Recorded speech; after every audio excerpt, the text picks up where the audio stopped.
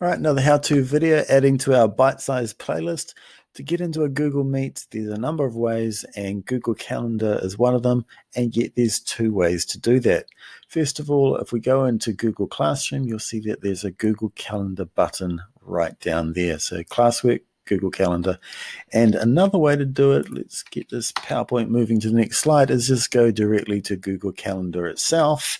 And in there, you can get things working as well. I'm just going to change that just so I can scratch my nose and you can't tell.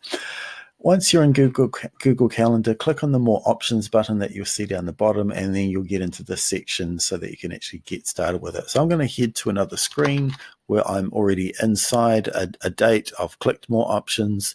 I've given it a title. It's going to be called Test Meet because why not?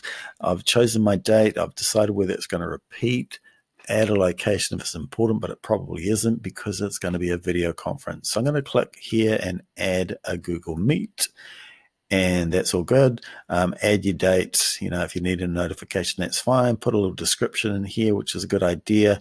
And click on the attachment if you want to add some attachments. Um, that's probably about the only way I know at this stage to add an attachment, unless you're using Google Classroom and your attachment's already in there.